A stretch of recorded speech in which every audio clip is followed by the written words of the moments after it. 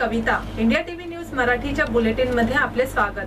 पाहूया शहरातील काही ठळक घडामोडी.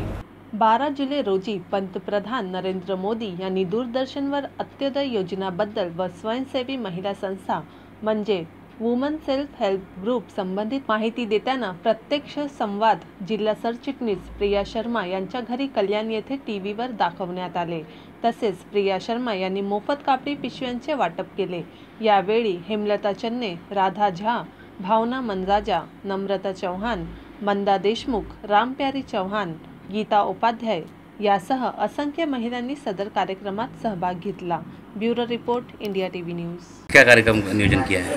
आज पंडित दीनदयाल अंत्योदय योजना के अंतर्गत आज हमारे जो पंतप्रधान है नरेंद्र भाई मोदी इन्होंने जो महिलाएँ संगठन संगठित होकर कुछ काम करना चाहती है उनके लिए एक बहुत ही अच्छा लेक्चर डीडी नेशनल पर रखा था।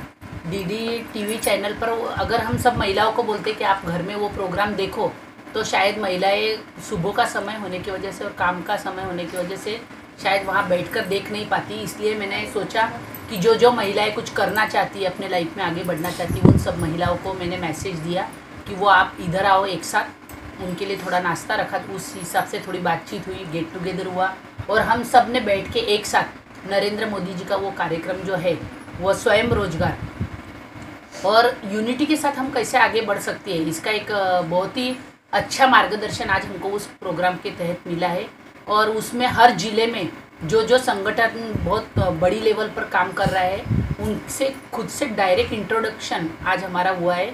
और हमको खुद को ऐसा लग रहा है कि अरे हम शहर में होकर ऐसा कुछ भी नहीं कर पा रहे जो ग्रामीण की महिलाएँ जिनको अच्छे से बात करना नहीं आते, जिन्होंने पढ़ाई लिखाई नहीं की है, लेकिन हर इंसान के अंदर एक कोई ना कोई गुण से भी वो आगे बढ़ सकता है, ऐसा एक प्रभावी कुछ तो भी मार्गदर्शन आज हमको इस कार्यक्रम के द्वारा मिला है। तो मैंने जैसे ही महिलाओं को दिया और सही में मैं महिलाओं की तारीफ़ करना चाहती हूँ कि महिला ही एक ऐसी व्यक्ति है संसार में कि जो सबका बैलेंस कर सकती है। जैसा घर संभालना है, बच्चों को संभालना है, अपना रूटीन का काम है और उसके बावजूद भी आज आदमी के कदम से कदम बढ़ाकर आगे बढ़ना और अपने घर में इतनी महँगाई बढ़ गई है कि एक अकेले इंसान से घर का खर्चा नहीं चल सकता। तो हम पैसे भी कैसे कमा सकते हैं? इसको कोशिश करती रहती है।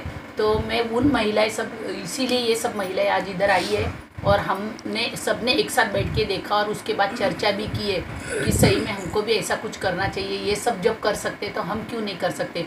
और अभी तो हमारे पास सरकार भी ऐसी है नरेंद्र मोदी जैसी कि जो वहाँ आए हैं तब से उनने हमेशा कोई ना कोई नई योजना नई कुछ ना कुछ स्कीम ज़्यादा से ज़्यादा महिलाओं को इन्वॉल्व किया है। आज महिलाओं के लिए सबसे ज़्यादा काम करने वाला सरकार ऐसे नरेंद्र मोदी जी की सरकार को पहचाना जाता है। और जब सरकार इतना सपोर्ट कर रहा है तो सिर्फ़ हमको एक कदम आगे बढ़ाना है। तो वो हमारा हाथ पकड़ने के लिए तैयार है। तो हम सबने आज इधर डिसाइड किया है कि हम जल्दी ही सब अपनी अपनी तरफ़ से सोच के कोई ना कोई जल्दी से जल्दी एक ऐसा काम शुरू करेंगे, जिससे ज़्यादा से ज़्यादा महिलाओं को रोज़गार मिले। और सही में आज का जो कार्यक्रम ना देने वाला था, और हमने देखा, शायद मिस हो जाता तो हमको उतना बुरा लगता, पता भी नहीं चलता कि एक कोई अच्छी चीज़ हमने ज़िंदगी में खो दी तो मैं नरेंद्र मोदी जी को बहुत बहुत धन्यवाद देना चाहती हूँ। और इन सब महिलाओं को जो आज काम छोड़ के आई, तभी उनको शायद ऐसा लगा होगा कि मैडम ने सुबह सुबह क्यों बुलाया, लेकिन अब जब देखा होगा तो उनको भी पता चला होगा कि काम तो हमको दिन भर करने का रहता, लेकिन ये काम हमारे लिए सही में कभी कभी दिशा बदलने के लिए एक काम ज़रूरी होता है, वैसा एक ही काम था। धन्यवाद. प्रिया मैडम आगे बढ़ो. हम तुम्हारे साथ हैं. भारतीय जनता पार्टीचा. तर या होत्या इंडिया टीव्ही न्यूज मराठी. तुम्हाला आमच्याशी संपर्क साधायचा असल्यास स्क्रीनवर दिलेल्या क्रमांकावर संपर्क साधू शकता. तर आता वेळ झाली आहे निरोप घेण्याची. नमस्कार.